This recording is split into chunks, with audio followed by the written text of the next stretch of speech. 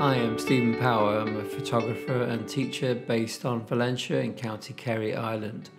Welcome to my series of teaching videos.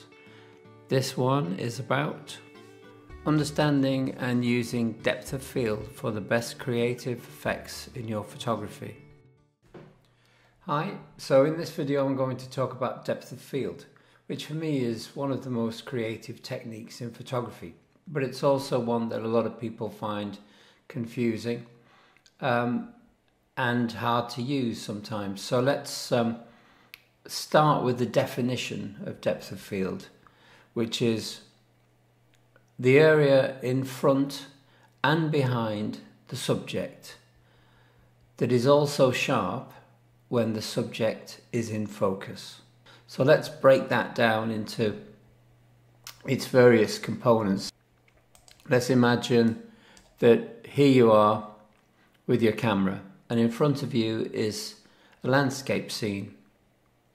You've got a, a tree quite close to the camera, a house with its gable end pointing on, so the house is going away from you, um, and the mountains in the background.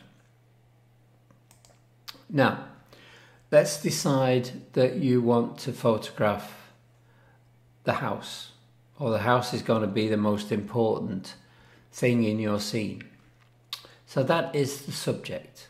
The subject is the thing that you want to show most of all in the photograph. And you've got to know what the subject is before you take the picture. Otherwise, it's not really going to work. So in this case, the subject is the house. And we're going to focus on it about halfway along. So I'll draw a little, imagine this is your focusing point in the camera, the little red square that you see when you focus. Get that right over the subject. Get it on the subject and in the part of the subject that you want to be clearest, particularly if you're using a wide aperture, because depth of field is connected to the aperture that you use and also where and how you focus in the scene. So let's say you've chosen um, an aperture of f2 or one of the lower aperture numbers f1.8 even 1.4 f2 up to about f4 these are regarded as wide apertures. They let a lot of light into the scene and the opening in the lens is very, uh, very wide. So this gives what's known as a shallow depth of field, meaning that the focus, if it's on the house, isn't going to spread very far at all from the focusing point. So let's say at an aperture of f2, you focused here in the middle. Focusing point may only spread to there and to there. This is the depth of the field of focus or the depth of field. It's the area of focus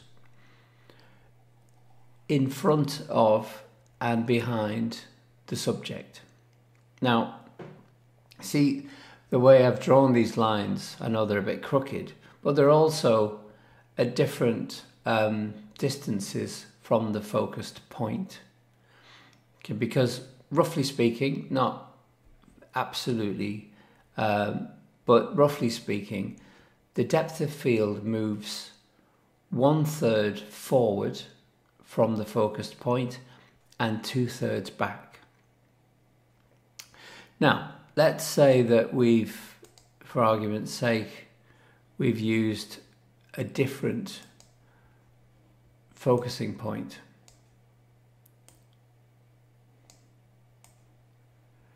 Let's say we've focused on these mountains in the background. Now, the mountains are often in a scene at infinity meaning that they're about as far as they can go. So the focusing point, if on the mountains, isn't going to spread anywhere. It's going to be basically where you focused and slightly just in front. And then it's going to go backwards to infinity. Basically, to nowhere, because there's nowhere for it to go. So if you're focusing in a landscape at whatever aperture you use, focusing right at the back of the of the scene is pointless because you're losing a lot of the depth of field that you might have in the aperture. Even if your aperture was at f16. So we'll go to the other extreme of the apertures, the very small apertures. Say f16 now, we focus on the house again. Now this time,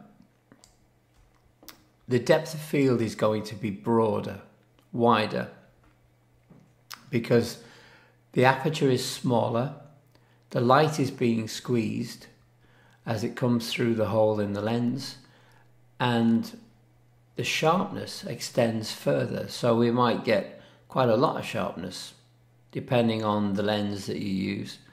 We might go from the focus point on the house to maybe just somewhere around the tree, if not in front of the tree, and, and all the way back to the mountains. That's quite possible. So we've got this very broad depth of field at um, a small aperture, f16, f11, those, those sorts of apertures. If we were, for example, to use um, a middling aperture, something like f8, then the depth of field might spread still a reasonable amount of uh, amount of way, but perhaps not all the way um, to the tree and not all the way to the mountains.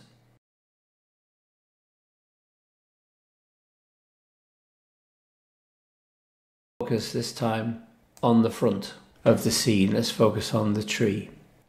The depth of field will move forward and some way back, maybe as far as the house. Now, what's interesting here again, as we did with the mountains, is that there's nothing in front of the tree to be in focus. So focusing here was a bit of a waste unless we only wanted the house and the tree to be sharp. If we wanted the mountains to be sharp, then we would have had to have focused somewhere else. And this is my general rule for focusing in a landscape. Because the depth of field will move one third forward and two thirds back from the focused point, then as a rule of thumb, it's a good idea to focus one third into the scene. So in this case, the focusing point might actually be here, which seems to make no sense at all because there's no subject there. But if we focused, and often focused manually, this is a good way to do it. If we focused about one third into the scene, then the depth of field will move forward roughly one third and back roughly two thirds. So we might, if we're very careful with the focusing point, allow at a small aperture again around f11, f16, we might allow the depth of field to spread throughout the whole scene. So let's do a, a quick recap on this. Depth of field is controlled by the aperture that you set in the lens and where you focus in the scene.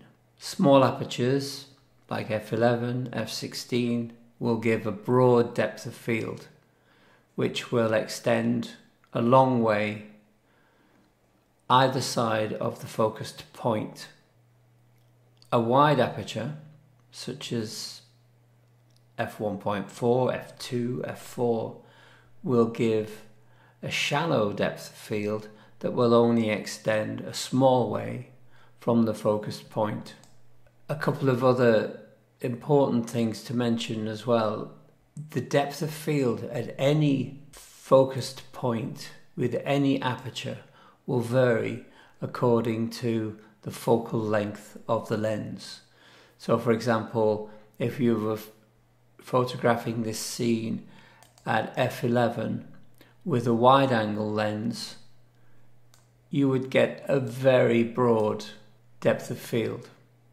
In fact, for the depth of field to be that broad with a wide angle lens, you might not even need to use a small aperture. If lens you were using was a telephoto lens, a long lens, maybe something like 200 millimeter and longer, then the depth of field will actually be less broad, more shallow at the same aperture. So using f11 will give you less sharpness from the focused point. And this is a, you know, fairly complex topic, but one that can be very useful, extremely creative once you get your head around it. Um, leave me a comment below, ask a question, and um, I hope this has been helpful for you.